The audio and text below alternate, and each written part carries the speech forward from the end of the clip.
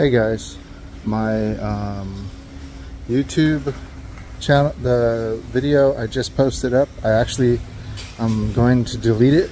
Um, and I was seeing some comments come through, which was awesome. And they were really positive.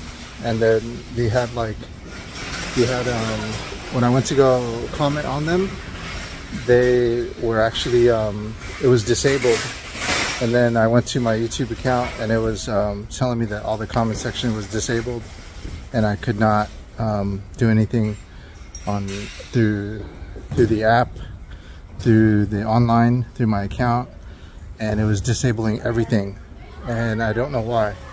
So, all right, currently right now I'm seeing your messages come through on my email, and then my email, um, it's not allowing me to respond, and then I have to um, basically, I don't know what's going on. Um, my account, just because I asked for you guys to go ahead and comment, now it looks like it's disabled all of my settings. It kind of sucks. I'm a little disappointed and I don't know why it's doing that. Just wanted to share this with you.